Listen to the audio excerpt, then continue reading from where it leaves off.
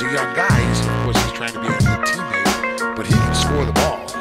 Josh turning around, using the glass, having the touch off O'Neil. Smalls to Stephens. Elijah quickly underneath, and there is Alexander again.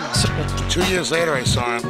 Nathan Davis is lucky he got him early. This is a guy that probably could have gone to the high major level. Great pass. And. Beckton able to connect on the seven footer on screen.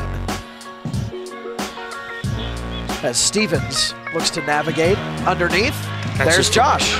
It's just interesting to see where guys, you know, it's a lot of localized recruiting because the DMV is so strong, but you got to add your national flavor. What a nice pass.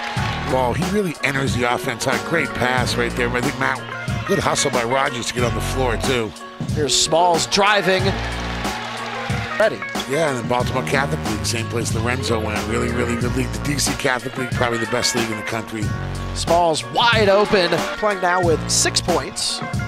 Now 10 seconds separate game clock from shot clock. Quick hands there from Smalls. Colin driving and scoring.